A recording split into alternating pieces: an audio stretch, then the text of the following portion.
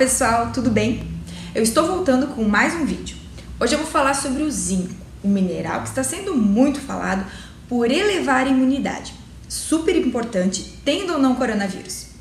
E eu já aproveito para pedir o seu like e a sua inscrição no canal. E não esquece de ativar o sininho. Então vamos lá, pessoal. O zinco, ele é um mineral essencial, ou seja, o nosso organismo não sintetiza. No organismo, ele está localizado principalmente no fígado, no pâncreas, nos rins, ossos e músculos, mas também nos cabelos, na pele e nas unhas. No homem, o zinco é encontrado em elevada quantidade na próstata e nos espermatozoides também. Ele tem inúmeras funções, estando envolvido no funcionamento de cerca de 300 reações enzimáticas no organismo. Isso significa que, se não houver zinco, vários processos metabólicos estarão comprometidos e as consequências são diversas regulação da expressão genética, funcionamento do sistema imune, cicatrização adequada, viabilidade dos espermatozoides são apenas algumas de suas funções. Podemos obter o zinco através de alimentos como mariscos, carnes, ovos, cereais integrais, leguminosas como feijão, as ervilhas e também no gengibre. O zinco promove a correta produção e secreção hormonal, onde se encontram testosterona, fatores do crescimento, né, o IGF-1, e hormônio do crescimento. Sendo assim, propicia um ambiente hormonal anabólico, pois esses hormônios estão diretamente relacionados com o processo de crescimento, reparação e regeneração dos tecidos. Associado ao magnésio e à vitamina B6 em concentrações específicas, o zinco faz parte do ZMA. Por causa da eficácia documentada no aumento dos níveis de testosterona, esse suplemento, o ZNA, é utilizado por milhares de atletas em todo o mundo como uma alternativa segura e natural ao uso de pró-hormônios. Mas esse será o tema de um vídeo futuro, onde eu vou falar sobre suplementos para o aumento dos níveis de testosterona. Então, voltando. Além do impacto nos níveis hormonais, o zinco é fundamental na produção de espermatozoides saudáveis, como eu falei no início do vídeo, aumentando eles em número e mobilidade. O zinco também pode ser muito útil no tratamento e prevenção de alguns problemas de próstata. Mas vamos falar sobre a imunidade. Pessoal, as células do sistema imune contêm um grande número de enzimas que precisam do zinco para funcionar adequadamente. Estudos têm demonstrado que a deficiência do zinco está relacionada com a suscetibilidade maior a infecções em pessoas, devido ao prejuízo do sistema imune. A deficiência de zinco promove uma diminuição na produção de citocinas, interferon Y e interleucina 2, e atenuação nas atividades das células exterminadoras naturais. O zinco também se encontra implicado em potencializar o efeito da insulina, melhorando seu comportamento, ou seja, aumentando a sensibilidade à insulina nos tecidos. Estudos indicam que o zinco pode ser muito útil também no tratamento da diabetes. Além disso, ele permite manter um melhor e um sono mais profundo, o que se traduz em um incremento na sensação de descanso. Isso ocorre porque ele é um mineral capaz de atuar sobre o metabolismo da melatonina, o conhecido hormônio do sono. Por outro lado, o zinco também intervém na regulação dos neurotransmissores, como a dopamina, que influi muito significativamente na função cognitiva, no estado de ânimo, no foco e na capacidade mental. Quando os níveis de zinco estão excessivamente baixos, é possível observar queda de cabelo, atraso no crescimento, hipogonadismo, lesões de pele, nos olhos, deficiências imunológicas que podem acarretar infecções recorrentes, dificuldade na cicatrização, alteração no gosto e nas deficiências mais graves pode inclusive ser fatal.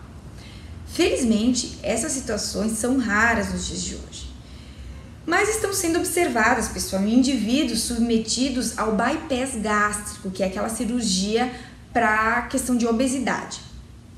Quando os níveis de zinco estão baixos, como no caso de deficiências moderadas ou níveis subótimos, é possível observar alguns sintomas, mas de forma mais amena.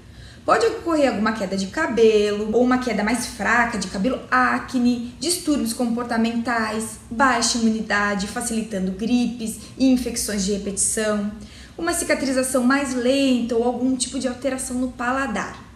Nos homens, pode se refletir em uma produção menor de espermatozoide, podendo até mesmo condicionar a uma infertilidade.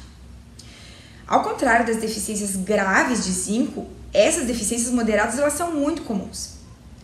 São diversas as causas da deficiência de zinco, entre elas a ingestão alimentar inadequada, na absorção e até mesmo o uso de álcool. Um problema bastante comum são os alimentos cozinhados em utensílios de cobre ou em água que passe pela canalização de cobre. O cobre compete com o zinco em termos de absorção. Sendo assim, uma alimentação demasiada rica em cobre induz a deficiência em zinco. E é importante salientar que o cálcio e o ferro em excesso também podem competir com a absorção de zinco. Os fitatos e oxalatos presentes em alguns vegetais agem como antinutrientes, impedindo a absorção de diversas substâncias, entre elas o zinco também. Mas como saber se estamos com deficiência de zinco? Essa é uma análise sanguínea relativamente comum na maioria dos laboratórios. Um dos sinais da falta de zinco no corpo são aquelas riscas horizontais de cor branca nas unhas, a presença de estrias ou um ferimento que não cicatriza, mas, pessoal, essas são indicativos, não quer dizer que somente com esses sintomas a gente pode afirmar que existe uma deficiência de zinco. Mas vamos falar de suplementação. A forma mais indicada é na forma quelada, com aminoácidos, devido ao custo e a melhor absorção dele pelo corpo. Recomenda-se a suplementação de cobre com o zinco na proporção de 1 mg de cobre para 15 mg de zinco. Um dos motivos eu já falei aqui no vídeo, é porque ambos competem pela absorção.